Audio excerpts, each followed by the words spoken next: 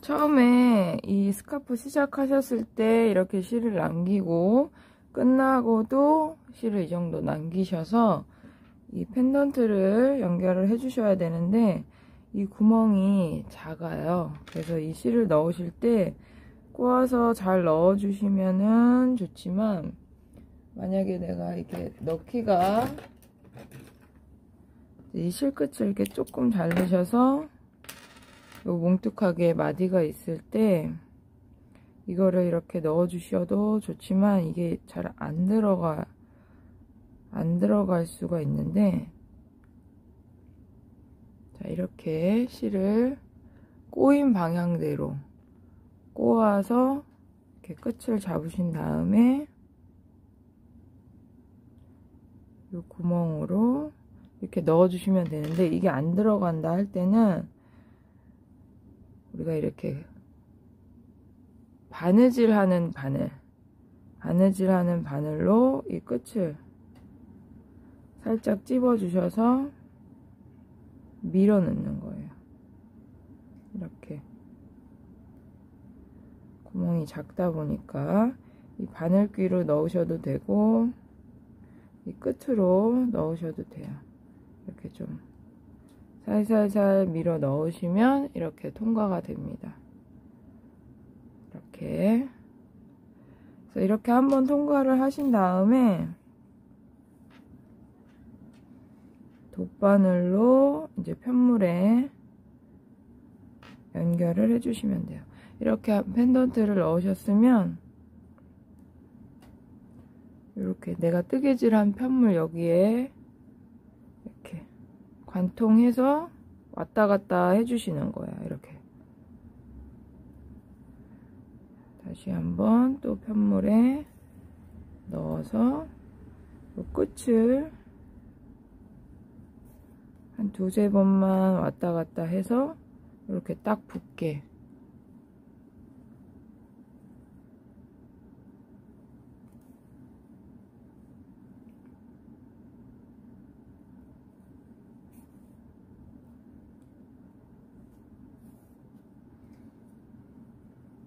이런 식으로 붙여주시면 됩니다. 그리고 이 실은 바로 자르지 마시고 이렇게 한번 이렇게 고리를 만들어서 관통을 하고 그 다음에 이 뜨개를 뜬 이 뜨개 이 꽈진 쪄진 방향들대로 몇 번 왔다 갔다 실을 관통을 시켜주세요. 끝을 바로 자르지 마시고 그래서 좀 끝을 깔끔하게 실끝이 보이지 않게 몇 번 숨겨준 후에 잘라주셔야 됩니다. 그러면 이렇게 연결이 돼요. 그래서 반대편도 마찬가지로 내가 펜던트 구멍에 이 실끝을 잘라서 바로 넣어주면 좋은데 이게 아무래도 실이 더 두껍다 보니까 이렇게 한 번에 넣어지기도 해요. 그래서 이렇게 넣을 수 있으면 넣으시고 아니면 이런 바늘, 얇은 바늘을 이용해서 실을 이렇게 밀어 넣어서 살짝 당겨주시면 됩니다. 그럼 마찬가지로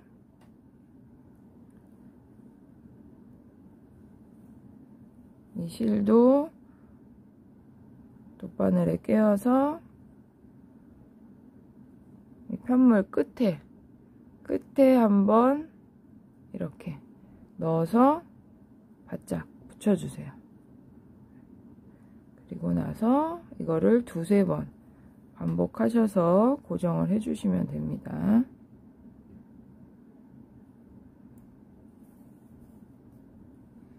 그러면 이렇게 붙어요. 고정하시고 나서 실은 바로 자르지 마시고 한번 이렇게 원형 이 고리를 만들어서 매듭을 한번 지어 주시는 게 조금 더 나중에 풀리지 않아요 그리고 나서 이렇게 실 끝은 내가 뜨개를 뜬 방향대로 몇 번 그냥 감춰준다고 생각하시면 돼요 이렇게 감춘 후에 실끝을 잘라주시면 됩니다. 그러면 이렇게 연결이 됩니다. 참고하셔서 예쁘게 완성하시길 바랄게요.